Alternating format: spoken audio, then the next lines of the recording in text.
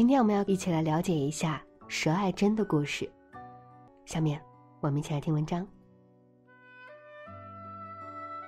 她是让文化渣男胡兰成唯一专情的女人，她是让大才女张爱玲发自心底佩服的女人，她叫佘爱珍，上世纪三十年代大上海有名的三大女流氓之一。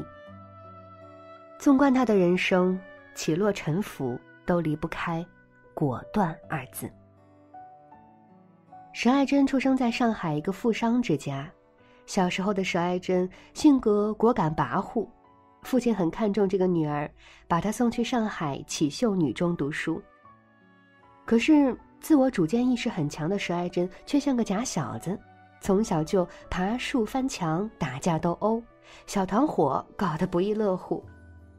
有次，他把邻家孩子的头都给打破了，之后周遭就没有人再敢招惹他了。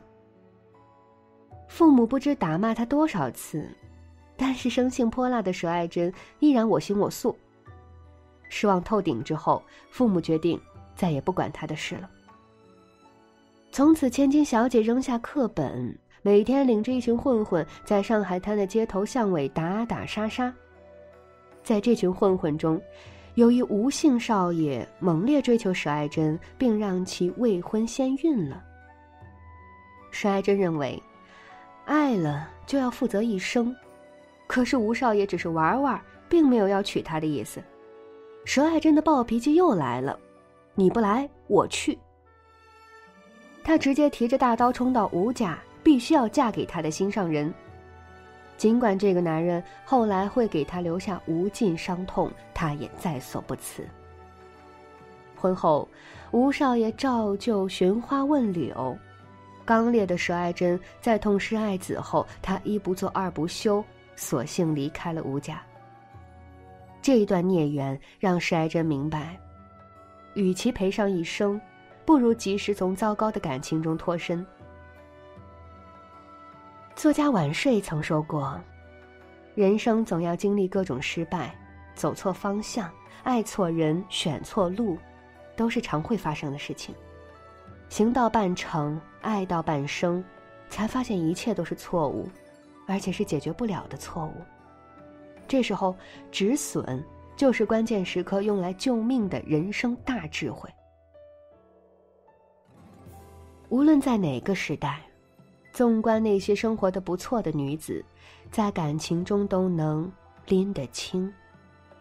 当爱时，绝不迟疑；当结束时，绝不怨怼，如此才能及时止损，活得更高级。离开吴家的佘爱珍不愿面对父亲的冷淡和母亲的埋怨，她追求独立，渴望自己的生活自己说了算。属于江湖的，终究要回到江湖去。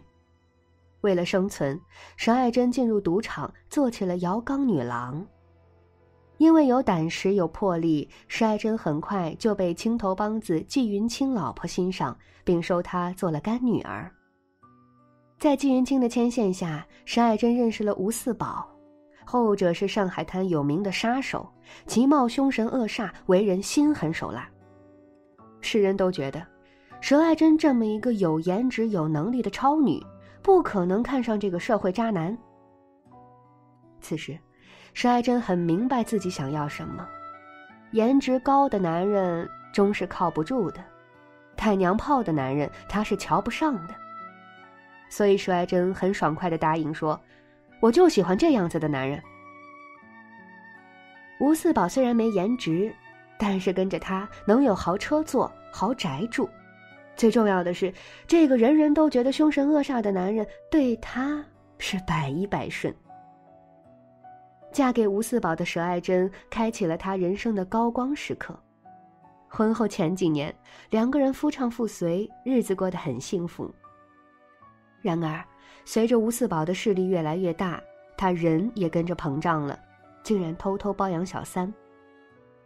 吴四宝的出轨让佘爱珍像头受伤的狮子，一怒之下带着司机和保镖硬闯英法租界。司机和保镖中弹身亡，而他双枪齐发，巡捕死伤大半，自己则毫发未损。佘爱珍竟然把一件寻常出轨事件闹大到了刑事案件，从此吴四宝对佘爱珍彻底服了，家里大事小情都得经佘爱珍同意。他说的最多的一句话就是：“同师娘说去。”凭借着胆识和勇气，短短几年时间，石爱珍就在男人称霸天下的大上海奠定了自己“上海滩女流氓”的地位。苏秦在做自己的女王说：“女人都是女王，必须构建起自己内心的王国，才能生活富足。”石爱珍明白。她不是公主，不能要求全世界的人都宠着她；她也不是王后，不能把婚姻当成职业。她必须做女王，自己的世界自己担当。女人不要为取悦别人而活，一定要为取悦自己而活。做不了他人的公主，就做自己的女王，活成自己想要的模样。人生的主动权永远掌握在自己手里。我想要什么样的人生，我可以自己争取。只有这样，才能活得勇敢铿锵。正当沈爱珍和吴四宝的事业风光无限时，吴四宝因得罪日本人被捕入狱。为了救吴四宝，沈爱珍去找当时任外交部次长的胡兰成帮忙，那是两个人第一次近距离接触。遗憾的是，最终。吴四宝还是死在了日本人的一碗毒面里。那时的胡兰成早对这位江湖大姐大动了心思，只因彼时她是吴太太，他不敢造次。佘爱珍不爱胡兰成，她不是张爱玲，不会为爱让自己卑微到尘埃里，她要的是踏实富足的日子。胡兰成在逃亡时。没有去日本的路费，想找佘爱珍借，又碍于面子，于是拿件大衣让石爱珍帮他卖掉，作为去日本的路费。胡兰成一说借钱，上一秒还亲密无间的石爱珍马上就哭穷，说我现在不比从前没有什么钱了，然后就用二百元打发了胡兰成。对胡兰成，他是早已看透，这样一个风流成性、没前途。也不懂得感恩的酸文人，他是断然不会拿出真金白银去栽培他、匡扶他。胡兰成的文采对施爱珍来说，还不如一件衣服更实惠、更保暖。半生江湖，让他明白一个道理：只要钱包温暖，人生不会太寒冷。所以他不做张爱玲，为了爱傻傻送上三十万。他明白，安全感这东西终究还是靠自己给。战争结束后，佘爱珍到日本投奔养子，适逢胡兰成也在日本，后者继续狂追佘爱珍。或许红颜已老，亦或许阅尽沧海，佘爱珍答应了胡兰成的求婚，两人结为夫妻。婚后。为了断掉胡兰成的花心，佘爱珍提前给胡兰成打预防针，平静讲述了他手撕小三的故事，最后还不忘问胡兰成：“到底是我心狠，还是他不义？”话外音很清晰：“你可以出轨，既然你不义，就别怪我心狠。”从此，一生风流的胡兰成真真收了心，过起了安稳的日子。虽然内心有一万个贼心，但是再也没了那个贼胆。按他自己的话，真是折堕了红尘。梁文道说：“一个女人要有自己过好日子的能力，要有别人拿不走的东西，这很重要。”沈爱珍的经历告诉我们，女人在婚姻里唯一拿不走的东西，就是自己给自己安全感。与其费尽心思去讨好男人，不如将自己活得精彩洒脱。石爱珍活得接地气、精明，也懂世故，所以她能把自己的人生过得惊艳刺激、有惊无险。